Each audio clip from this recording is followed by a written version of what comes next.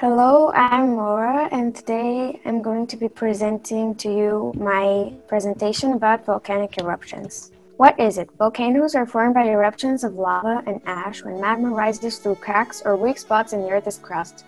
A buildup of pressure in the Earth is released by things such as plate movement, which forces molten rock to explode into the air, causing a volcanic eruption.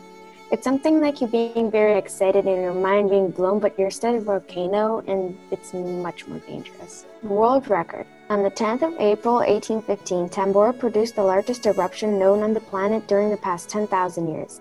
The volcano erupted more than 50 cubic kilometers of magma and collapsed afterwards to a form of 6 kilometers wide and 1,250 meters. Imagine how big of an explosion that was. And this is the Tambora volcano. It's actually it actually might seem pretty scary because it's 2,850 meters. Phobia. It's so scary that there's even a phobia that is called volcanophobia. It's a very original name. Well, after all, volcanoes are for sure not something to joke with. And you might say, wow, that is sure scary, but I don't believe that there's one in Bulgaria. I can prove you wrong. There is a volcano in Bulgaria. Adatapet is an extinct volcano in southeast Bulgaria. As of 2011, there was a debate about whether there should be gold mining. The some part of people considered the mining of Adatapet can pollute the river which is used for drinking water.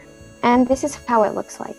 The largest volcano on Earth. A megavolcano found at the bottom of the Pacific Ocean is being reported as the largest single volcano on Earth. Tamu Massif, as the megavolcano is called, may be as voluminous as Olympus Mons on Mars, which is regarded as the solar system's largest known volcano, which we're actually going to talk about in the next slide. This is the picture of Tamu Massif. And I don't know about you, but for me it's pretty uncomfortable just looking at this big hole in the ocean. After all, we're not the only planet with volcanoes. Olympus Mons is a very large shield volcano on the planet Mars. The volcano has a height of nearly 22 kilometers as measured by the Mars Orbiter Laser Altimeter, MOLA for short. Olympus Mons is about two and a half times Mount Everest's height above sea level. It is one of the largest volcanoes, the tallest planetary mountain, and the second tallest mountain currently discovered in the solar system comparable to Rheasilvia on Vesta. And this is how it looks. You, from the last slides, the presentation, you might be like, so is there a country with no volcanoes? I can answer your question with a simple yes, and that country is the one and only Venezuela. Thanks for your attention.